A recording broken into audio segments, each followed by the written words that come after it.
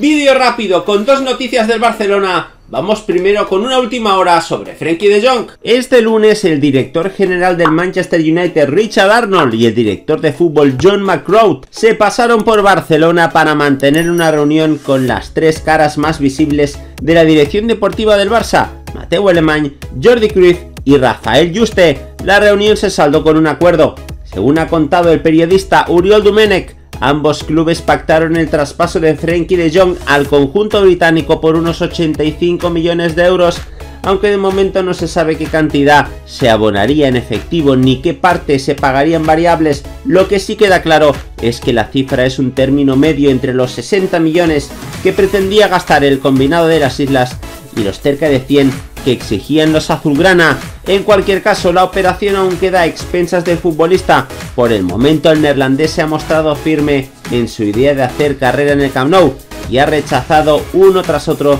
todos los acercamientos del United, ni siquiera la presencia de su compatriota Eric Ten Hag en el banquillo de Old Trafford ha logrado cambiar su parecer, ya que el Barça necesita hacer caja para poder afrontar las nuevas contrataciones se antoja muy probable que los mandatarios suban el nivel de presión sobre un futbolista que en caso de acabar cruzando la puerta de salida podría ser reemplazado por Bernardo Silva. Por tanto, aquí tenéis el tweet de 11, el programa de TV3 en el que dice claramente que hay un acuerdo ya cerrado entre los dos clubes por Frenkie de Jong por 85 millones de euros. Vamos ahora a hablar del otro culebrón del verano, el del polaco Robert Lewandowski, y vamos a ver quién es el culpable de que el polaco no haya fichado a día de hoy aún por el Fútbol Club Barcelona. Son varias ya las ofertas del Barcelona por Lewandowski que han sido descartadas por el Bayern, aunque una nueva información asegura que ha sido una sola voz la que ha convencido a las demás de rechazar a los culés.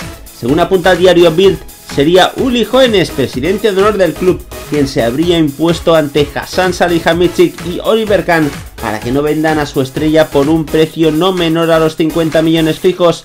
Pese a que el cargo del exjugador no es más que el de un consejero, su palabra continúa siendo muy respetada dentro de la institución, al punto de influir directamente en las decisiones ejecutivas. Su relación con Pini Zahavi, agente de Levi, está muy deteriorada desde la salida de Álava al Real Madrid, otro de sus representados por los que se sostuvo unas pretensiones para renovar fuera de los límites del Bayern. De hecho, Jóvenes tampoco mantiene una buena relación con el Barça y en varias oportunidades le ha dedicado varias palabras sobre su situación económica, como esta. El Barcelona quiere contratar a Lewandowski cuando tenía una deuda de 1.300 millones de euros hace seis meses. En Alemania estarían en bancarrota desde hace mucho tiempo. El juez de quiebras está en su puerta y le están haciendo una oferta millonaria en jugador del Bayern.